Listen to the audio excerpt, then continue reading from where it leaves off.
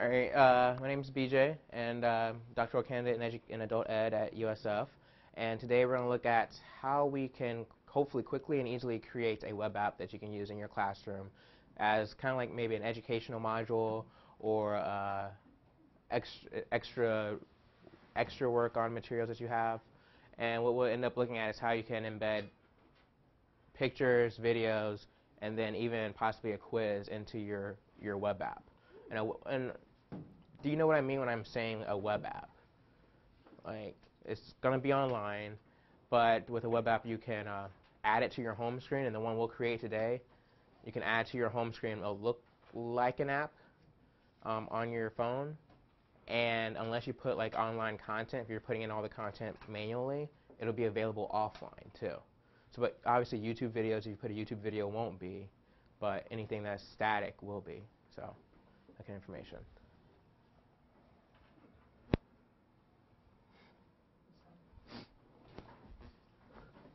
Okay, so we'll look at why, why you may want to build a web app.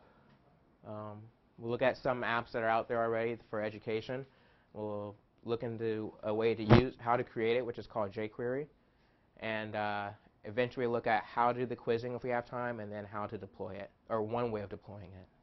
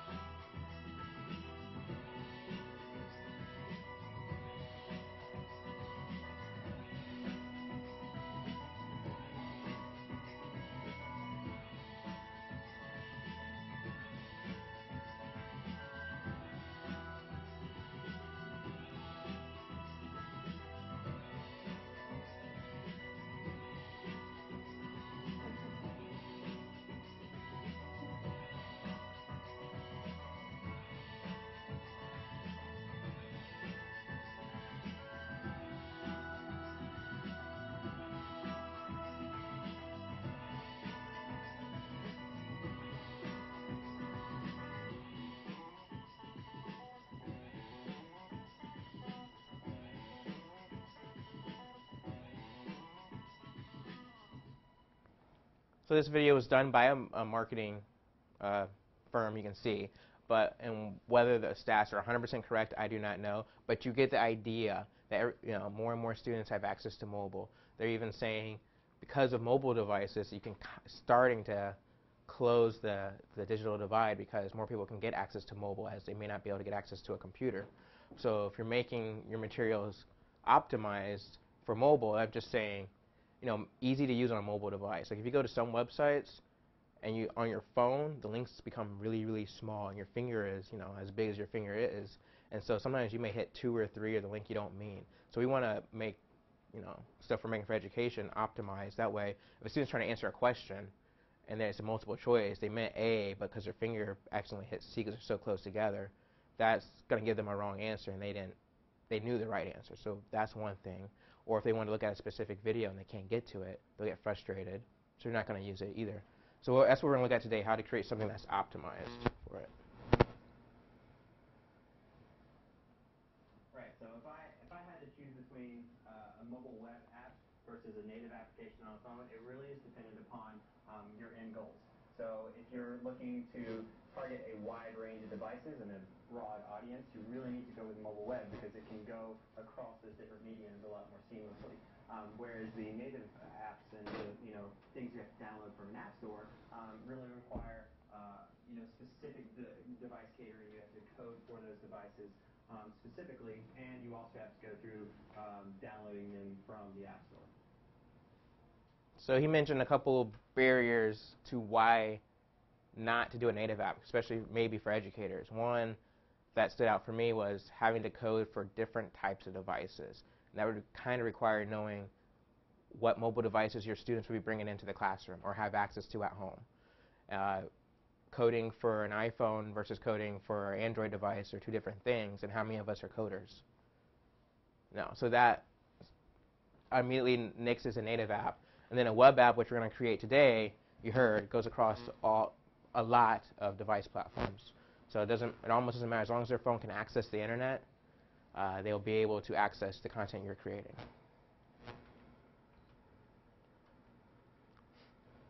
Okay, so this is to look at a couple or a few uh, web apps that have been created by reputable places. So you have uh, Educause, their blog, uh, the I guess journal. They've made one to access a lot of their materials. Uh, Khan Academy. If you were to go to khanacademy.org, you could see it. If you does everyone have the simulator up now? Um, are you on yours? Yeah, so the iPhone simulator should be running maybe in the background. Oh, this? Oh, yeah, Yes. And you can go to khanacademy.org. And it's their regular website, but they have it set up so if someone arrives there with their mobile device, it gives them an optimized experience, a better view that's easier to use. Versus if you were to go to Khan Academy on the browser you have open, you see a completely different view. So I'm going on Safari then, right? Mm-hmm. If you look on, On the. oh, you're on the iPad, that's fine. Oh, I don't know if it will work actually. Good for Khan Academy? Mm-hmm. Khan Academy iPad or app? Just khanacademy.org. That'll. Oh, oh, You can also Google it on there. Yeah. and it'll give you the address. Yeah, I see. Yeah, it gives you the optimized view too on that. Does it? Okay. Yeah. Landscape it, or is it? it? Is command and the arrow? Command. Command arrow key left or right will make the iPhone simulator be landscaped. What is, oh, here. Your Yeah, arrow do you know keys. what you're doing? Oh, so where's got?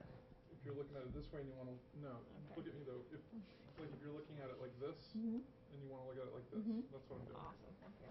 So if you Right wanted here? to do that with your simulator, Yes. yeah, you hold down like the command key and the arrow. Oh. So it's like turning your Oh, device. You don't need to do it. Oh, I those arrows, asking. okay. Yeah, Yeah. You don't need to do it. I was just asking, like, if you wanted to. Thank you. So, uh, so there's one you can look at on the device. But NC State gives one. Uh, Cornell has an, a web app. NC State is a tour of their campus, so it's tons of pictures. Um, let's see if I can open it up.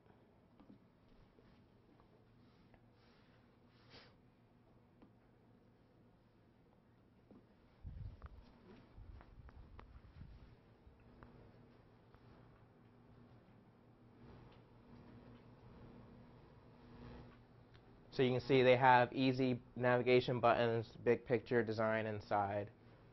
That's fine.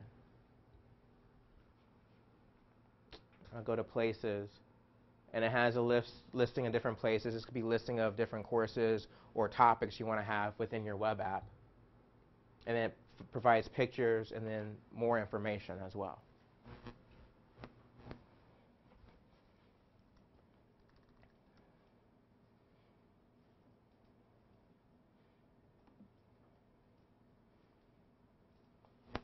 And then this one is the one Stanford has used. They have a picture at the top. Um, they provide their news and events. So I can go to here.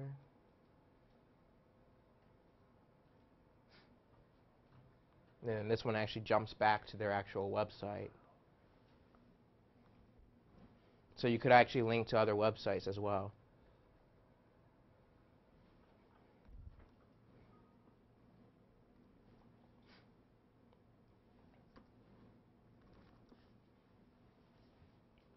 But we kind of get the idea of what you can do with the web app and what you can put it in and how it'll look like.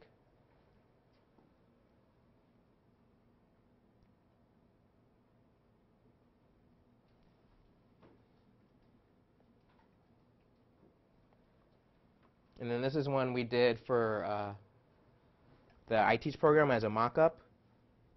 And I'll show this one really quickly.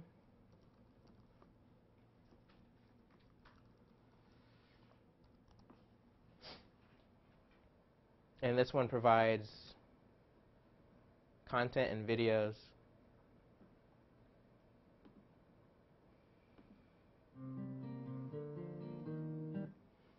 So a video will play, and it also has quick navigation along the bottom, which we'd call a footer. So we have the header at the top, with which is more like your title of where you are. It lets the user know where they are within your web app. Because even though we're creating, we're going to be creating one page, on your phone it'll look like you're going to different uh, pages. So you would have to create a header. We've put video, text, and then you can have quick navigation down the bottom along your footer. Which is basically what I outlined here. Your header for your titles, they have a back or a home button that you would have.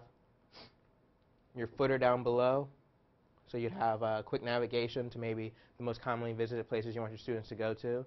This could be slightly different than your front page, which would have a list of everything. You may, may have four common areas. And then, of course, in the middle is just our content area. Are there any questions or thoughts on what I've presented so far? Pretty straightforward.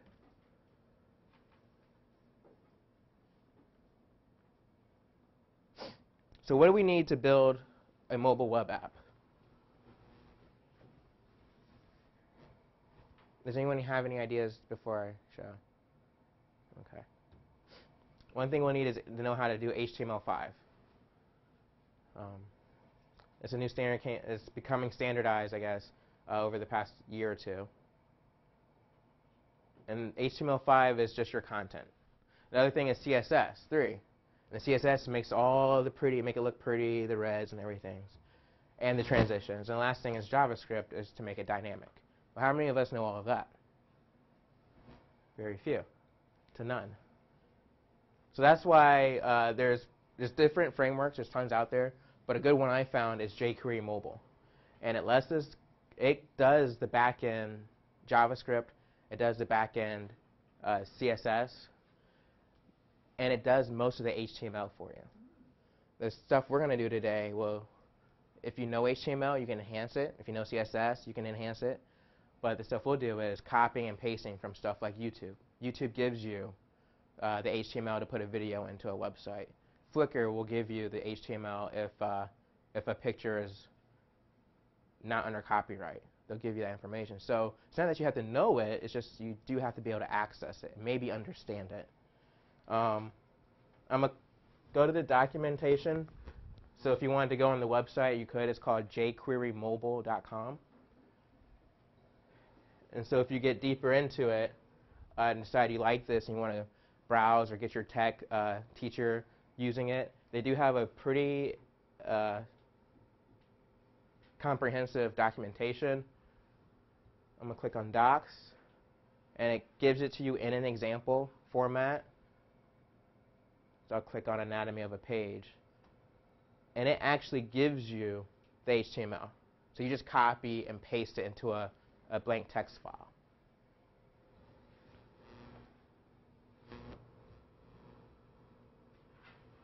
So you don't have to know a whole ton of code. But then even then, you could be saying, you know what, that's still a little too much for me.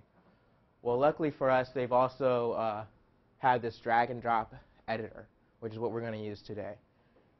Um, I don't know how to pronounce it, so Codiqa, I guess.